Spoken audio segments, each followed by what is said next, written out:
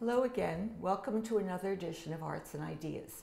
I'm Sue Swinand, and we're close to home today in the studio of artist and educator Irina Parfenova, who uh, has been in this area for since uh, 2010, I believe. Yes, since late, And 2010. uh, she's uh, a teacher at the Worcester Art Museum for four or five four, years. four years. Four years. Yes. Mhm. And uh, she has a very interesting background, which I think you're going to enjoy hearing about.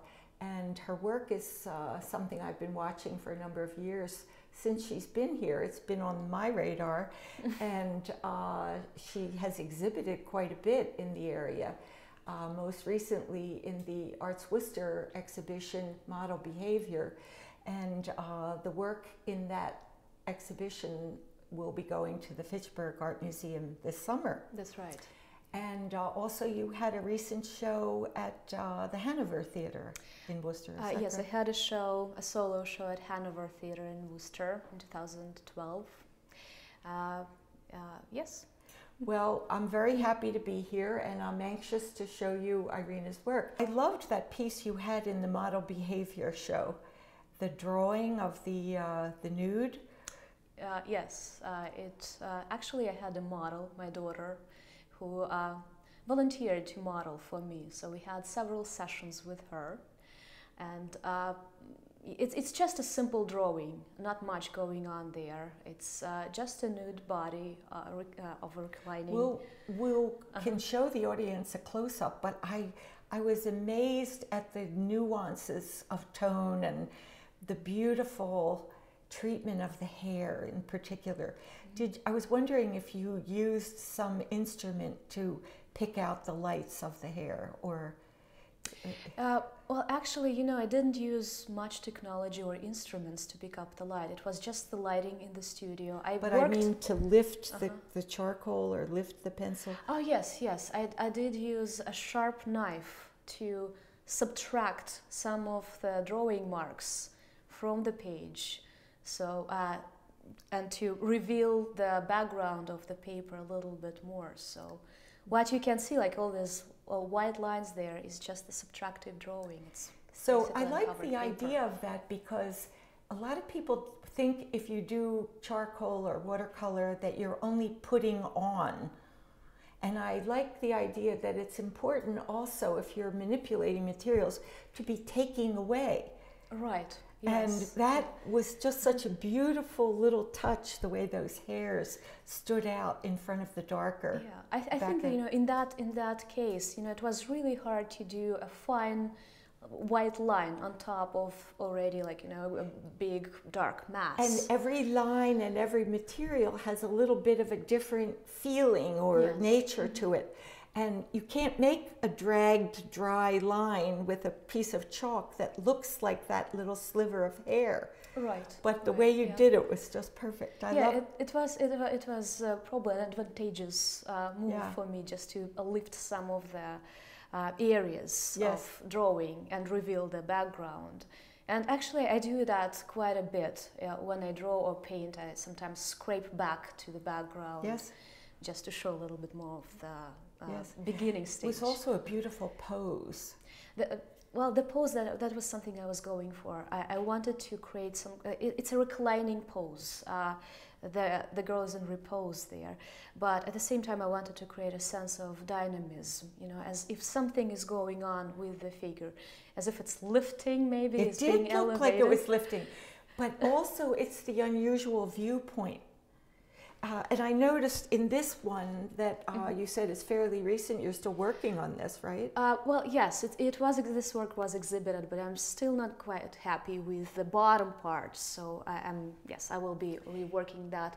But yeah, that's the the viewpoint of the figures is similar to the drawing where Looking you kind of down hover. on- yes, you, you down. hover on top of Yes. your models. You're looking down.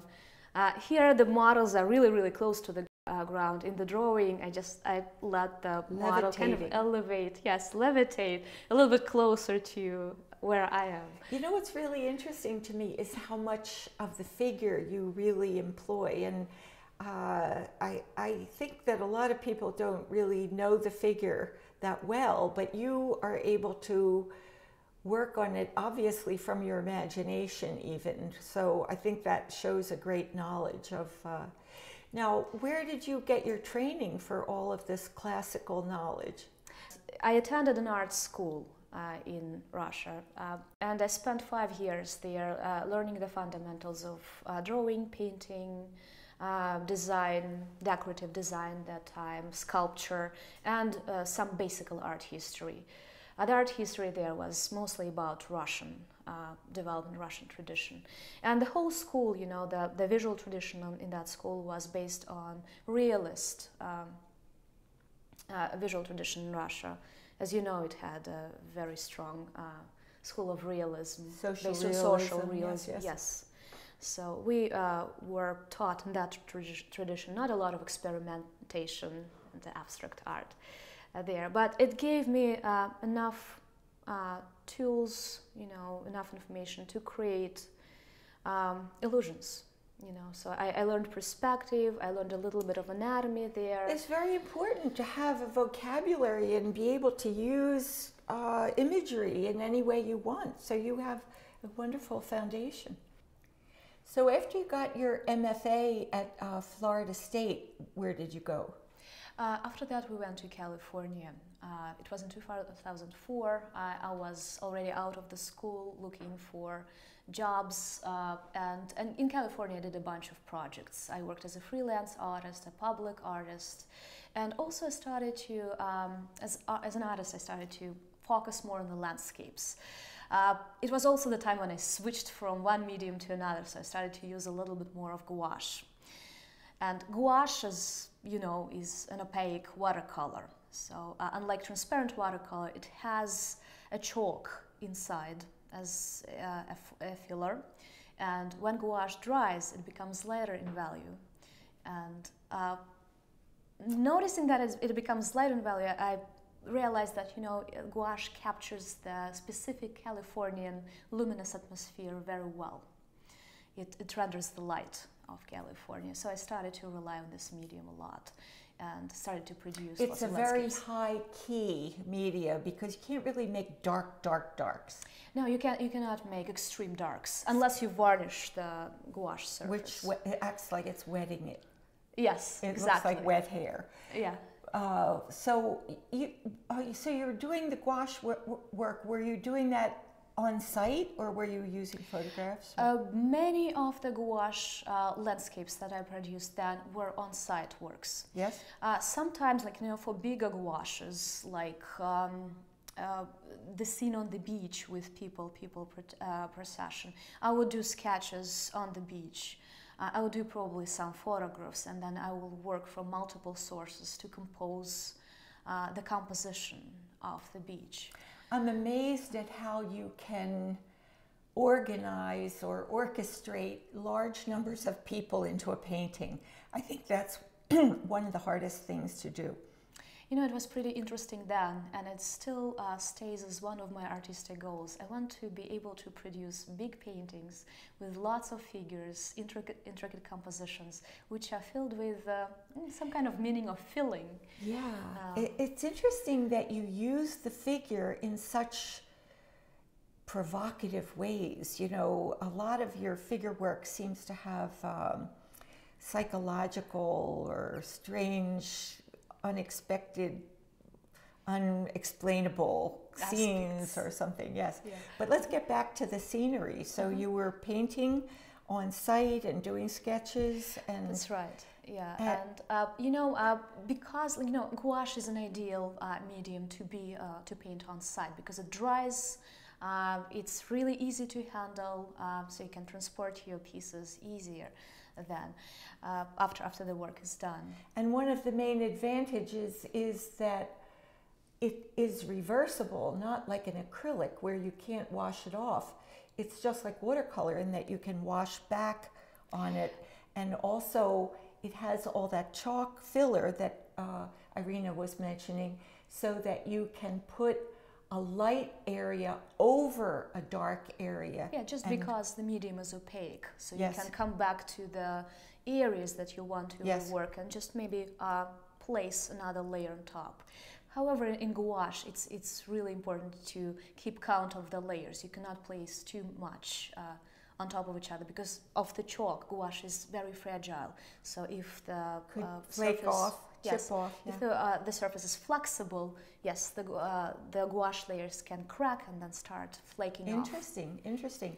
Now you also became more fluid and spontaneous at that time, I think. That's true. That's true. Uh, Uh, maybe that was about more of the forces of nature or uh, forces of nature and uh, probably also the change in the lifestyle i was engaged in all these different projects you know artistically. And i also started to have a family my daughter. So i have i had to act faster think faster spend uh, you know maybe less time on my works. So gouache was a little bit more spontaneous. It dried fast and um, you know I, I had to make my decisions fast. Mm-hmm. so uh, I think that for my expressive needs, that was just the ideal medium because it had the right intensity, consistency, and speed. interesting. And then you came to Shrewsbury, and uh, the light was different again. The light was different again, yes. Uh, as we discussed in California, the light was. Uh, uh, there was a lot of diffused light. I, uh, there were not so many contrasts uh, that I could see, uh, especially at the distance in the atmosphere. Uh, uh, Massachusetts is a little bit different. We, we have lots of trees here, lots of filtered lights. So uh, the overall atmosphere is slightly darker. Uh, and for a while, I was sort of like colorblind. I just couldn't think in terms of. And you were doing a lot of works in, in black and white at yes, that time. Yes, and I too. started to produce and monochromatic- interiors, I wonder why, because you can't be outside.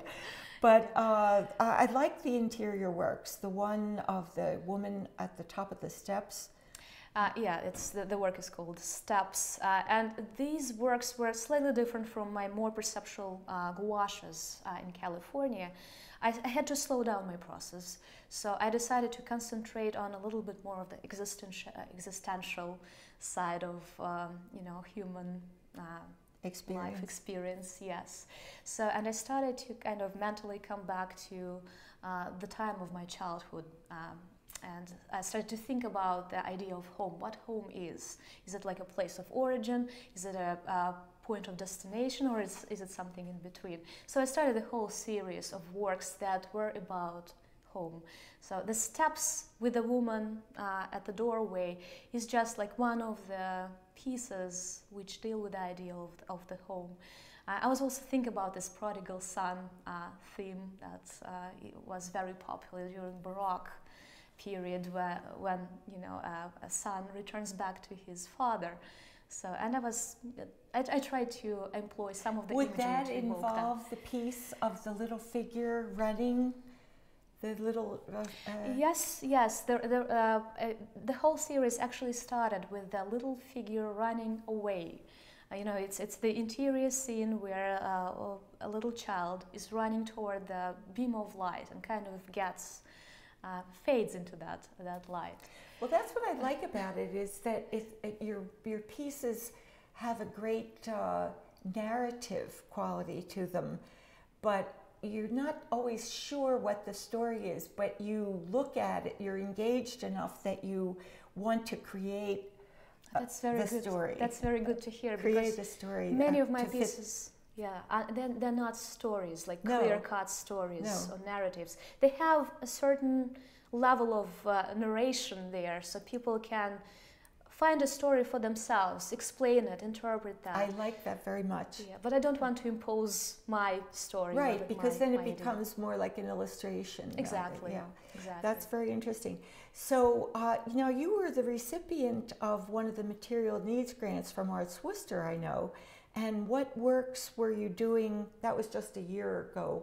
Uh, and you did specific works about Worcester for right that, right and actually that uh, the series of works that i produced for the grant uh, for worcester arts organization uh, was also dealing with that idea of home just because you know me and my family we, we changed so many places and we tried to uh, adapt to, to places and find homes in, in those places i thought of worcester as my you know next uh, hometown So, and I focused on different scenes in Worcester and around uh, Worcester that would uh, bring parallels between my original home. I would like to show this one if we could. And uh, the Worcester. Yes, this this um, figurative piece actually uh, features uh, the Worcester skyline. So you can see uh, Union Square, uh, Square there, the railroad, uh, and pretty much the, uh, a bit of the city. So you can get, kind of guess what, what is depicted here. And the guy is in the foreground. the train station. The I just want to make Square. sure everybody's with us. right. The train station and tell what yeah, he's Telegram doing. Gazette building uh, right here. Uh, there is a road here, which is sort of like a 290. symbolic tonight. well, I think it's railroad, Uh, but two, I think 290 is over here okay. on the bridge. Okay. So, So- what is he doing? Uh, the, the guy is kind of standing. We don't know where exactly the guy is standing. Is he trying to balance? Is he, is he trying to jump? So it's just some kind of an allegorical uh, figure uh, that kind of finds his way or her way. Uh, It's a the new- balancing act. it's a balancing act, exactly, in the new environment. And the name of this, uh, the title of the piece is W Act, which is uh, also a play of words. Uh, you know, double U, when you just, you know, you, you come to a new place and you rediscover yourself in a new picture. So you Can can you recreate kind of handle, yourself? you recreate yourself. So it's a, it can be multiple you uh, thing. So you can, you know, it's just the process of self-discovery, hmm rediscovery. I'm going again. to show your self-portrait as well. Okay, let, let me probably. Would you like me to? I love this piece.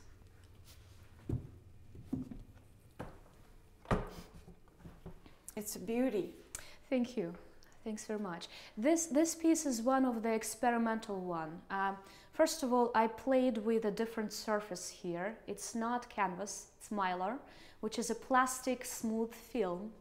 Uh, which doesn't accept paint uh, too readily. You know, uh, paint becomes too slippery. It's so smooth. It's very smooth, so you can, uh, you know, uh, spread the paint easier here, but it will not sit uh, uh, on the uh, surface at the very beginning. So maybe after uh, applying a couple of layers, it would. But you know, if you Because see you build up a, a tooth, exactly, whereas yes. in the first coat it You- slides you, like can kind glass. of see the first coats. Like I, I try to deliberately leave Mhm. some of the exposed uh, areas uh, where the first coat revealed, and you can see how like you know it dripped Mhm. down. So and I, I, I kind of liked that feeling of dripping down. So I wanted to create a kinetic landscape in And the this background. one is called On the Road, right? It's called on the road. On the road. Yes, it's me uh, as a wanderer here, or prodigal son, in a way. It's Um, interesting how you've searching caught for that myself. whole sort of longing and searching and expectation and wonderment and befuddlement. It's all in your expression, which I think is very successful. Oh, thank you so much. Thanks. Yeah. I, I, yeah. There's, there's another portrait I, I wanted to show, which I think Which is is a portrait in process. It's uh, somehow compositionally it's different. It's just the front uh, of the figure. However, here I started to play a little bit more with the colors. Uh, I was uh, you really are working with the warm and cool here. warm and cool. and the exactly. daylight and the uh, Uh, warm, the warm artificial. artificial, light. Yes. So well, it's, that, it's just that you were saying you were more of a tonal painter.